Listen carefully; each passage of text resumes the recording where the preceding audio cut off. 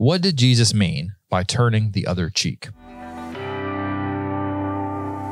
All right, so today uh, on the episode, we're going to discuss what did Jesus mean uh, in Matthew chapter 5 in the Sermon on the Mount, where he talked about turning the other cheek. And so, um, I mean, guys, is Jesus saying that you should be a glutton for punishment and just get slapped all the time, or is is he sharing something deeper and, and uh, something more, something deeper? The first one.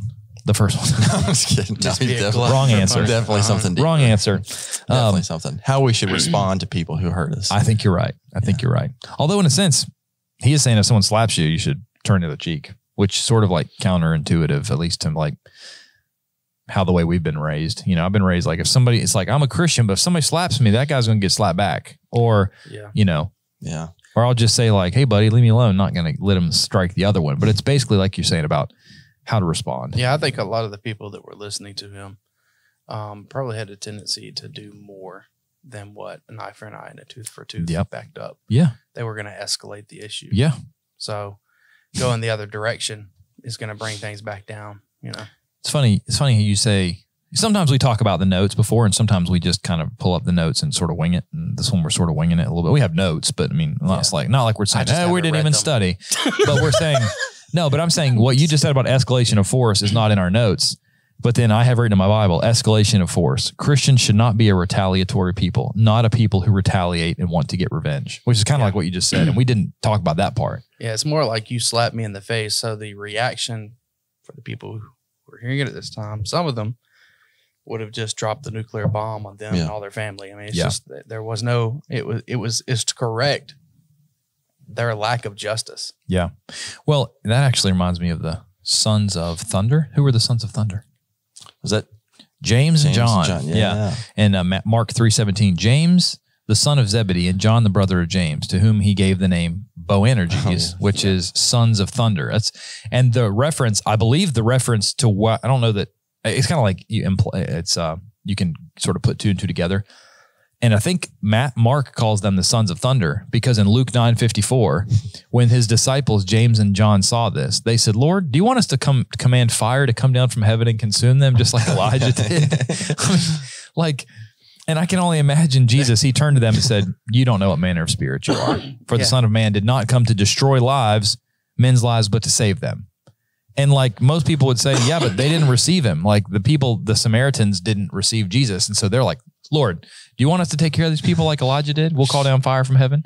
And Jesus is like, No, the guys, that's not. So like even Jesus realized his mission, it was a higher purpose, Yeah. you know? Mm. Um, so yeah, that just always makes me think of that story. Well, this whole uh, scripture that we're talking about comes from Matthew 5, 38 through 40. Cough into the mic. It works better. I'm trying to turn away. I'm just joking. He's turning the other cheek Come on, here. man. Turning the other cheek when you need to cough. That's smart. Bear Good with job. one another. Okay? That's right. And so fulfill the law of Christ. I, I'm sorry. Yeah, I was. Okay. I was Give me thinking that. about When you 1 cough, Corinthians I'll- thirteen, but Oh, okay. yeah, All right, love Tucker. bears all things. Love bears all things. There you That's go. true. All right. You were saying, Tucker? So, okay, back to the Bible. Um, you'd heard that it was said an eye for an eye and a tooth for a tooth. Did you But- say that where you were reading from? Oh, yeah, Matthew 5, 38 through 40. You may have. I just probably was But then talking to he started turning the other Okay. Okay. But I Matthew tell you, in 39, but I tell you not to resist an evil person. Um, but whoever slaps you on your right cheek, turn the other to him also. If anyone wants to sue you and take away your tunic, let him let him have your clo- cloak also. And whoever compels you to go one mile, go with him too. Give to, give to him who asks you, and from him who wants to borrow from you, do not turn away. Okay. So yeah, let's go through that. Like Scott said, you've heard it was said an eye for an eye, a tooth for a tooth. I think that's from Leviticus 24. I think Leviticus 24 talks about that sort of principle. And so Jesus said, Hey, you've heard this, but I'm Yeah. giving you like a higher law, right? I'm, I'm basically giving you a, a, a higher calling, Yeah, right? that's Leviticus twenty four twenty. Okay. and I think it's found in Exodus and Deuteronomy as well. Okay, cool. Awesome. And then he says, I tell you not to resist an evil person. What's that word resist mean? It means to set against, um, example, withstand, and then it also breaks down undamaged or unaffected. So it almost sounds like not trying to like fight back, you know, Yeah. like if someone's doing evil, it's almost kind of like just like, all right, let them, let them do what they're going to do. You know, it almost makes me think of the proverb, which I can never remember. I always get it mixed up, but my dad always taught me this proverb like heavily, which is that a soft answer turns away wrath. Yeah. You know, like if you've ever if you've ever had somebody like get up in your face or get mad at you or even just like try to argue with you and you know you respond by saying like you know what buddy i'll tell you what how does that go it Not just good. escalates it whereas if you're like you know what man maybe i shouldn't have done that i'm sorry Yeah. you know completely surprise Yeah. them probably. I remember before I came to GBN uh, for like 10 years, I was in um, biotech, like robotics consulting stuff. And I remember the, I had to go visit the state department of health with in Pennsylvania. That was one of my clients. And so, you know, I'm fresh out of, you know, like college and went through training, very little training. And so I remember like the day before I had this big meeting with like, you know, seven or eight people in a boardroom with the tenant or the Pennsylvania Department of Health about one of our instruments. And so like my boss, like the day before I went in, he was like, Hey, just a heads up, uh, they are having problems with our instrument and they um they really don't like us. And I'm like, Great. you know, and I don't really know that much. I was still new to like learning about the equipment. So I was like, what am I gonna do? So I remember I went in and basically sat down and started off the conversation. I said, Listen, I know that you all are not happy with us. I know that our instrument has not been performing well. Like I'm here today that you can just like unleash and tell me all your feelings, let me know, and I will do my best to write it down and correct the problem. And it like totally disarmed them because it was like, I think they were expecting me to try to argue with them or try to fight back. Tell them, no, really, it's just that you're dumb. You don't know how to use it. Our instrument's great. You just don't know, it, Yeah, which I don't think was the case. I think the instrument did have actual problems, you know. But yeah, like it was that idea of like not trying to fight back and not not, not having the motivation of I'm going to win the argument. I'm going to win the confrontation, but more of just like I'm going to try to be a peacemaker. And I think that's kind of a lot of what this this has is you don't need to resist them, you know. And um Yeah. Yeah, and if you do that, a lot of times things go a lot a lot smoother. So, um all right, what about the next part? Let's read it. If anyone wants to sue you and take away your tunic, let him have your cloak also. It's kind of a hard one, isn't it? Yeah. What what as Americans we're like, oh, you sue me, I'll sue you. Yeah. You know, or if you want to take my cloak, okay, well, I'm going to fight you for that cloak. But maybe if you get my cloak, I'm not going to give you my tunic. You're not going to take mine. It's no, my thing. yeah. I wonder too if that idea is like if you have the if you keep the bigger picture in mind, like I know this is maybe even hard to practice, but like, you know, if somebody comes at you and wants one of your possessions, right? And you're trying to fight them, if you remember that the bigger purpose is for you to convert their what? Yeah. Soul. Soul. Maybe that's the idea of look, like if they're gonna fight you and you say, Look, I don't even care about that, like maybe they'll they'll probably think you're a weirdo, want to know why you're different. Like, why did you give me that? You know? It's like someone steals your jacket and you're like, here, take this scarf with I thought you were say my pants. Like, no, not your pants. Scarf. pants. Yeah, here's yeah, yeah, jacket. Here's my scarf, right? my 'Cause that's appropriate, right? But yeah, like it makes you wonder why. And the next one I think is kind of cool. Whoever compels you to go one mile, go with them too. I I have mine in my notes somewhere. Like I have different notes in different Bibles, and I don't know where it is, but I think I read somewhere that like in the Roman world, that you were like the Roman soldier could ask any citizen to carry their things like yeah, a mile I've heard that. and like outside the city on the roads there was like Hmm. a mile marker so like the roman soldier could ask you you know if i'm a roman soldier hey you i need you to carry my armor for me a mile. And so you're supposed to carry it a mile. And so you get close to the mile and the roman soldier's like all right well i'm gonna have to carry my own stuff now. And then you get to the mile marker and you're like hey man no it's good. I'll go another mile with you. And the soldier's like what? Like, Hmm. you're gonna yeah i'm happy. Like i'll help you out man. And it's a long walk. That guy's gonna be like wow i like this guy you know? Like you're basically it's service. It's like an attitude of service, and who knows what that might lead to. You know, Yeah, it's an Yeah. attitude that says, you know what, um, I'm going to do more than is expected of me. Mhm. Yeah. hmm A lot of these things seem so backward in today's culture. Like you, like you just your human instinct. You like you don't. You wouldn't want to do that. Like, why would I want to bless my enemy? Why would I want Yeah. to love him like that or take care of him? Yep. But like I said, ultimately, it's about our soul and kind of pointing people back to the gospel and everything. Yeah, absolutely. The next verse Give to him who asks you, and from him who wants to borrow from you, do not turn away. Yeah. Isn't that hard sometimes? That's what I'm saying. Yeah. Like, it's easy to go, you know, sometimes it's easy to talk through this, like the doctrinal stuff and say, well, this is what it says, and blah, blah, blah. But when you get to like the real life application, You're just like, yep. It's like, does that I mean mean, sometimes everything? you're like, yeah, yeah, we're supposed, when someone wants to borrow, I'm supposed to give it to him. And then someone comes to your house and asks to borrow, you're like, yeah, I'm using that, or, Yeah. you know? Oh, I mean, these this is stuff. Yeah, I'm same here. It's like kind of steps on your toes. Like, Well, it's like James. It's like, look, that's great if you know it, but unless you what? Put it into practice. Yeah, unless you do it. Yeah. I mean, it's Yeah. it's knowing it but not doing it. it is like not that's that's not worth anything, you know. Yeah. I mean, this is why we need we need that savior because a lot of stuff I've I know I failed with before. Sure. Need to do better with that. Yeah. And um, you know, this is this is important, just as important as all the other topics we talked about. Yeah. You know, this is this is the law of God too. Yeah. We gotta learn how to do this, do this better. Agreed. Look at the next verse, verse 43. For you have heard that it was said, You shall love your neighbor and hate your enemy. but I say to you, love your enemies and bless those who curse you. Do good to those who hate you and pray for those who spitefully use you and persecute you, that you may be the sons of your Father in heaven. For he makes his sun rise on the evil and the good and sends rain on the just and the unjust. For if you love those who love you, what reward have you? Do not even the tax collectors do the same? And if you greet your brethren only, do you what do you do more than others? Do not even the tax collectors do that? Therefore you shall be perfect as your Father in heaven is perfect. So that first part, love your enemy. You've heard that you should love your neighbor and hate your enemy. But he says, love your enemies and bless those who curse you. Do good to those who hate you and pray for those who spitefully use you and persecute you. And why? So that you can be sons of your Father in heaven. I heard a story recently. I forget where it was. Sometimes when I travel, whether it's to like do like a seminar or gospel meeting or speak somewhere, you know, I end up spending a lot of time with preachers and their families and and uh, elders and you know, we'll get talking about so and so and they'll tell me stories about old preachers. And I remember somebody recently told me a story about um, Marshall Keeble. And uh, Marshall Keeble was, I don't know really the dates, but I mean like 50s, I think, 40s, 50s. Um, and so anyway, I mean, he preached for a long time, but I think this story took place maybe in the 40s, 50s, 60s, but it was during the civil rights movement. Marshall Keeble was African American preacher, right? And he Yeah. was with a white preacher and they were traveling together, preaching together like they're brethren. They didn't look at each other as like white and black. I mean, they obviously knew what color the skin was, but they were looking at more as like, you know, shades of brown. and stuff. But they were looking at it as like their brethren, right?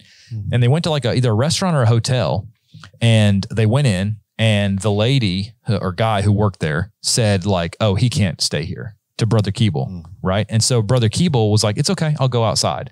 And so the other, you know, white preacher, he was like trying to argue with him, not argue, but discuss with him. Hey, look, let him stay here. He can stay with me. Like we're, you know, we're brethren. We're preaching together. And apparently the story was that he, the lady said, or guy said no. And so he went outside to talk to Marshall Keeble. And when he got outside, Marshall Keeble was praying for the, the guy. Mm. Like Marshall Keeble, who'd just been told, no, you can't come in here because you're African American. He was outside praying for the guy who just like spitefully said, no, you can't stay here. Like that's an example of it. That's a perfect picture of it, you know? Like know, when everybody else in the world and your whole being is telling you like this is unjust, which it was, and you should be Yeah. retaliating and fighting, he's praying for that person, trying right? to think about, you know, um the jailer. I mean, what was it the case Philippian that- jailer? Yeah, that Paul and they when they went in, they were, I know they sang. I Yeah. can't remember. Does it to say that they were praying as well? Could they have been praying for them? I don't know. I don't know. In uh, in uh, Acts Yeah, 16, I'd go look that up. but- yeah, I don't know, but I mean, you know, Jesus. What did Jesus say on the cross? Father, forgive them. yeah, Yeah. They know not what they do. Yeah. And in Acts 7, Stephen, as he's being stoned and drug out of the city, he says, Lord, not lay this, lay not this sin to their charge.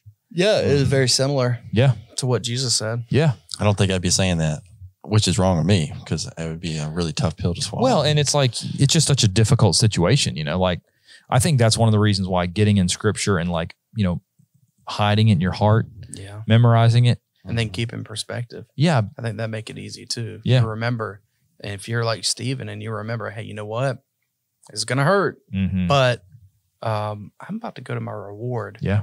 And they're about to live however long God allows them to live on this earth hmm with this guilt on them. If they don't fix it, hmm uh, I'll I'll never see them again. Yeah. didn't know? Jesus stand up? Wasn't that? Wasn't Yeah. In Acts 7. yeah, Yeah. Talking about Stephen. yeah. Yeah. Then he, Yeah. he he saw Stephen saw Jesus stand up. Yeah. Acts 7. Well, he More of up. like a. Uh, he looked up. No, he saw Right. Stephen, stand up. Yeah. I yeah. think, and the reason was wasn't it more of like I'll read it. out of respect? Are you saying? Oh, go ahead. Yeah. When they heard these things, they were cut to the heart. This is after Stephen starts preaching the sermon in chapter six and seven, and then he he gets really um, diplomatic and says, "You stiff necked and uncircumcised in heart and ears, you always resist the Holy Spirit." Well, how they resist the Holy Spirit? Because he'd been preaching. They resisted the words.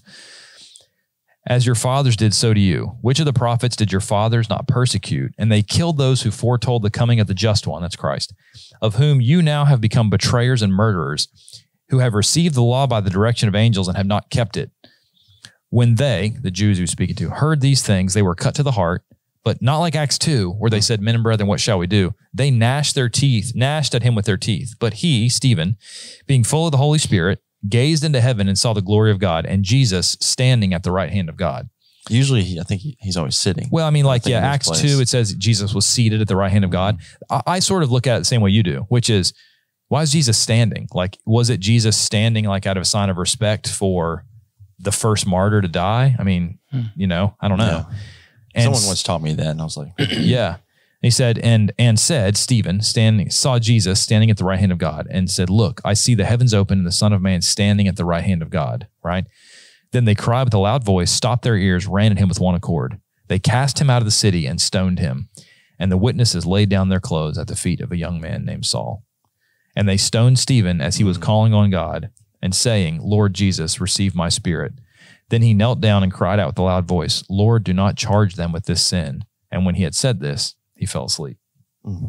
that's So- where we get introduced to Saul, right? That's right. That's the first place mm-hmm. you see Saul. So I always wonder if Saul mm-hmm. was like at the death or at the at the trial of Christ. You know, the whole Sanhedrin's gathered, and Yeah. Galatians one says Paul was advancing in Pharisee Ju- of a Pharisee. Yep, and he uh-huh. was son of studying under Gamaliel.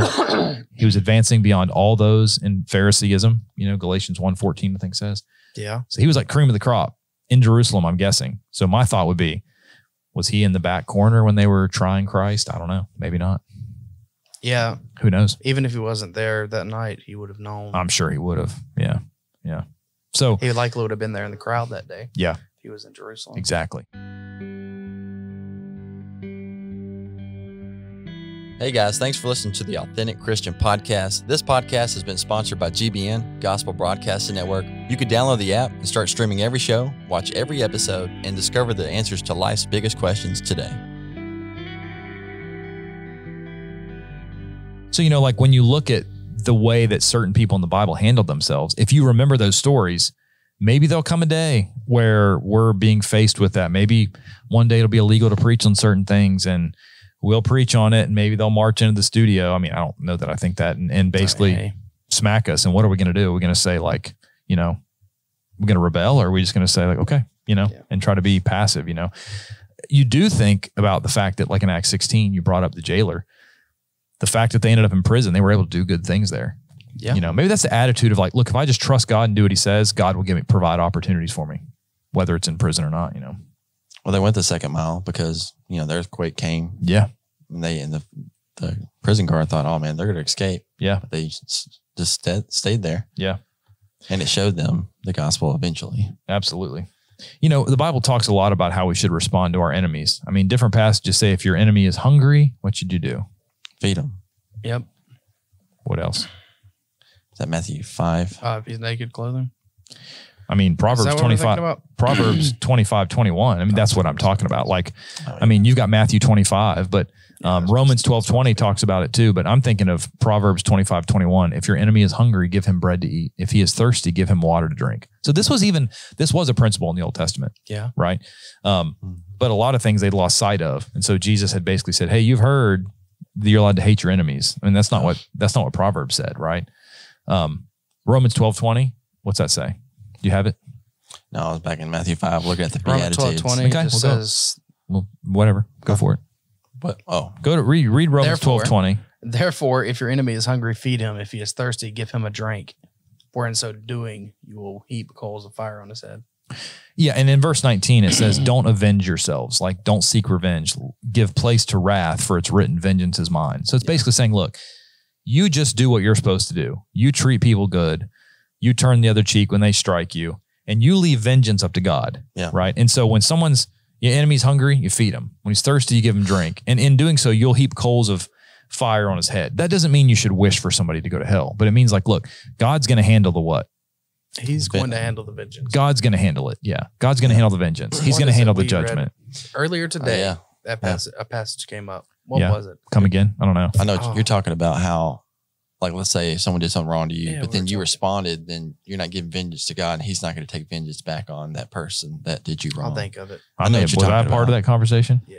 Hmm. Mm-hmm. I think I might have it in here, You got you got Matthew five. but I got Matthew five that what you're talking right about? now. But I yeah, think read verse that. is in Read here. wherever you're at. What verse is that? But this is the Beatitudes. Okay. And Oh, you know, seeing the multitudes, you know, he Jesus went up on a mountain, and when he was seated, when and when he was seated, his disciples came to him, and then he opened his mouth and taught them, saying, "Blessed are the poor in spirit, for theirs is the kingdom of heaven. Blessed are those who mourn, for they shall be comforted.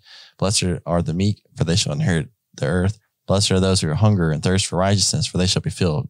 Blessed are the merciful, for the for they shall obtain mercy. Blessed are the pure in heart, for they shall see God. Blessed are the peacemakers, for they shall be called sons of God. And blessed are those who are persecuted for righteousness' sake, for theirs is the kingdom of God. And then 11, Sure.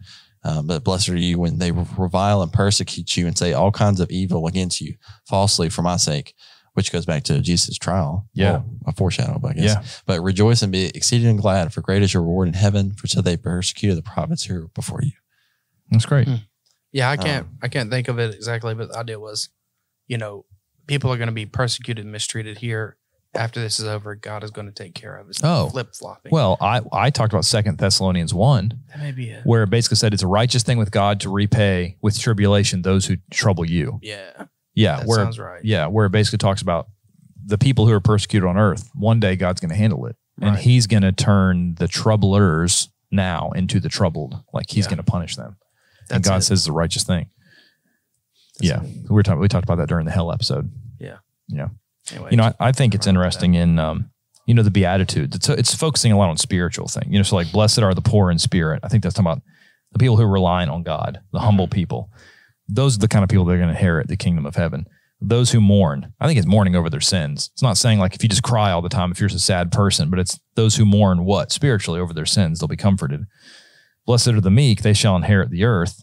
Blessed are those who hunger and thirst for righteousness, right? They're all spiritual characteristics, right?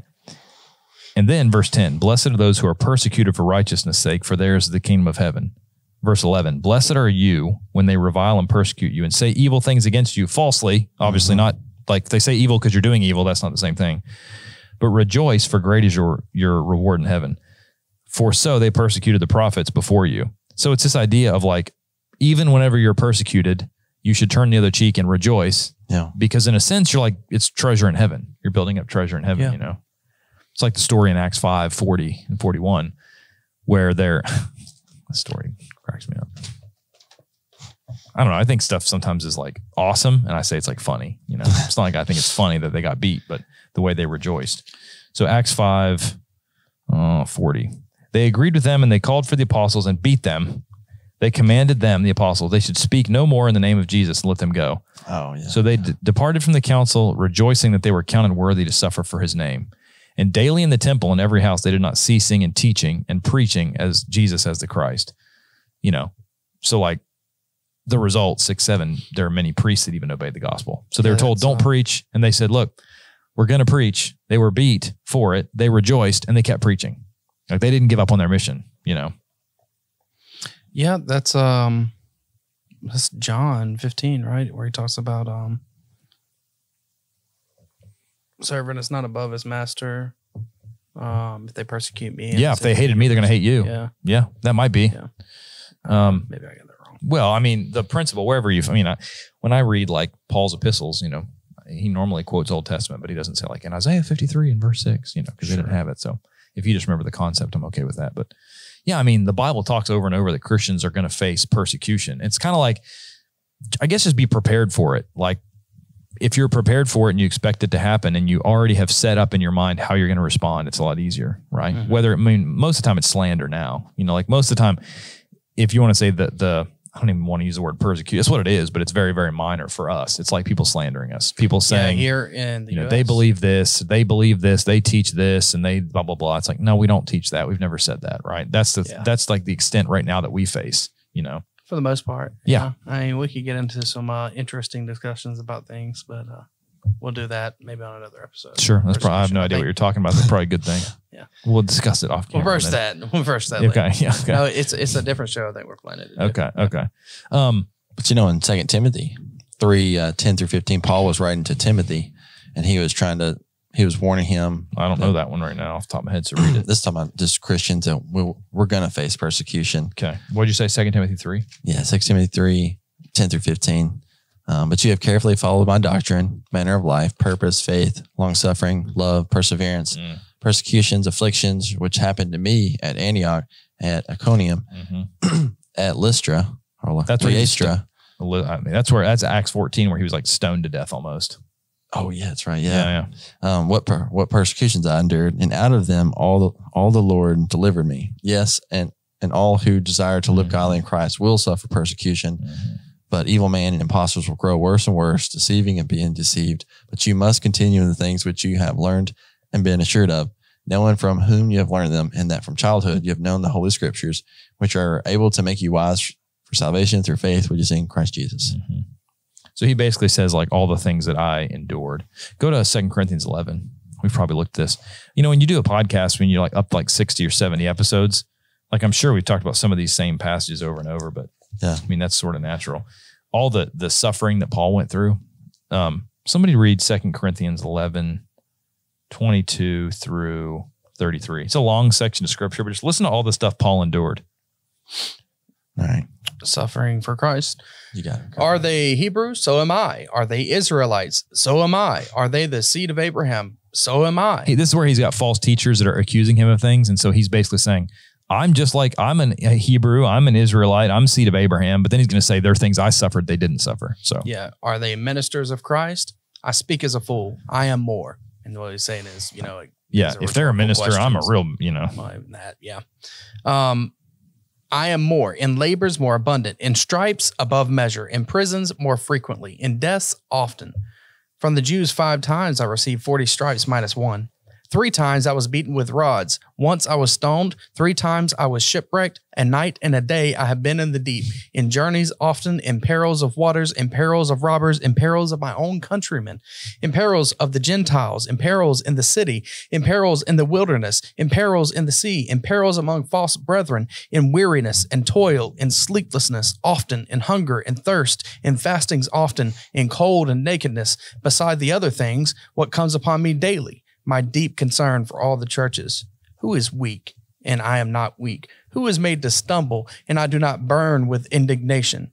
You want me to stop there or keep going? keep going. Uh, if I must boast, I will boast in the things which concern my infirmity. The God and Father of our Lord Jesus Christ, who is blessed forever, knows that I am not lying. In Damascus, the governor, under Aretas the king, was guarding the city of the Damas. How do you say that? Damascenes? Damascene, Damascenes, Damascus Yeah, people. close enough. Yeah. In a garrison, desiring to arrest me, but I was let down in a basket through a window in the wall and escaped from his hands. So like he, he like was running and, you know, like shipwrecked. I mean, a lot of, he was like, uh, what do you say? A, a day and night in the deep. He's like treading water, probably He like was- on shipwreck. he was- probably worse than homeless and lost because he was also persecuted through that process. all, I mean, He had nothing. Yeah, you look at all the things he went through. Yeah. And he's able to basically write some of the things that And when he I say lost, I don't mean spiritually. I No, just no, mean of it's course. like he literally has nothing. He's out in the wilderness. Yeah. He's in the middle of the sea Yep. and he's starving and he's thirsty and Yeah. people are beating him and stoning him and trying to kill him. Yeah. He's been through it. Yeah. Hmm. So, what are some thoughts that we can think about? Number one, I got a couple. Whenever we think about, I guess, turn to the cheek, one thought that Tucker wrote down, Tucker wrote some thoughts to ponder. Who are we to think we deserve the right to punish those that wrong us? Which is true. Like sometimes a lot of the thoughts we have come from this arrogant mindset of like, well, you know who I am? Yeah, I can't believe you did that to me, to, to Aaron, to Tucker, to Scott Ingram. Mm. You did that to us. You know who we are? We got a podcast. who cares? Right? Like Yeah. that doesn't mean anything. And so we need, as people and us specifically, we need to be like, look, we don't deserve the right to punish people that wrong us. That's God. God is the Yeah. only one that deserves the right to punish those people. you Yeah, know? I mean, I just think like who's going to put the other guy on death row in there to to pull the handle on the other guy on death row? It's like Mhm, you, you- you're not in any position mhm, to be that one, really. mhm. I understand there's a role governments play, Sure, sure. and they don't bear the sword in vain. Yeah.